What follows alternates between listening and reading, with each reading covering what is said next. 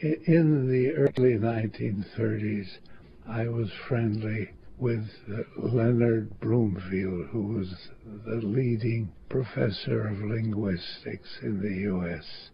And he said to me, I do not think the United States can be termed a democracy until it elects a Negro president.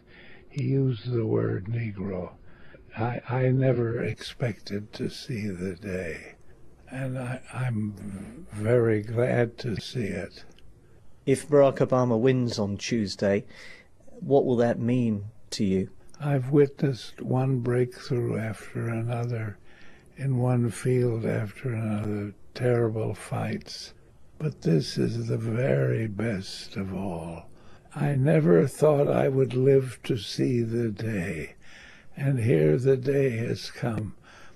And we know that there will be many votes cast against him because he's African American, but he will win by a big majority, even so.